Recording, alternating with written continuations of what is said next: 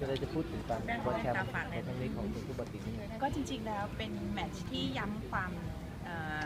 ความมั่นใจให้กับทีมเราอะนะคะว่าจริงๆแล้วเราก็เป็นที่หนึ่งในอาเซียนนะคะก็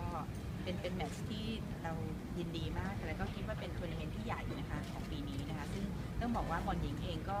หลังจากเอเชียนเกมแล้วก็ยังไม่ได้มีการต่อสู้ในศึกใดเลยนะคะทางนี้ก็ถือว่าเป็นการย้ำความมั่นใจก่อนไปบอลโลกจริงที่จะไปแคนาดาม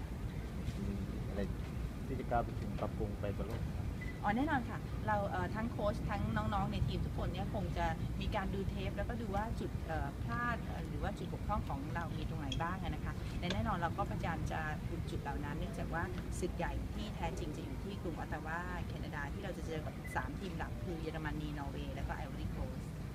โปรแกรมที่เหลือมีการเก็บตัวฝึกซ้อมแล้วก็ไปแข่งขันต่างประเทศยังไงบ้างเทียบก่อนบอลโลกอะครับ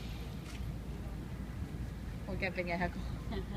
ก็เดี๋ยวอันนี้เอ๊ะอุ่นเครื่องนี่ยังตอบไม่ได้ว่าจะมีไปที่ไหนหรือเปล่านะคะแต่ก็การซ้อมแน่นอนค่ะทางอาจารย์หนิไทยสัตว์ทองเวียนก็คงจะจัดการซ้อมอย่างเข้มข้น แล้วก็เราเองก็คงจะต้องดูเรื่องเอ่อเอาเรื่องวิทยาศาสตร์การกีฬาหรืออะไรเข้ามาดูความฟิตของร่างกายน้องๆเนื่องจากว่า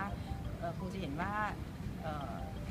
การแข่งขันรอบตัดเชือกที่แข่งกับเวียดนามเนี่ยก่อนมาชิงชนะเลิศเนี่ยในการต่อเวลาเนี่ย น้องๆหลายคนก็ประสบปัญหาเป็นตะคริวนะคะก็ตัวส่วนนี้เราก็คิดว่าหลายอย่าง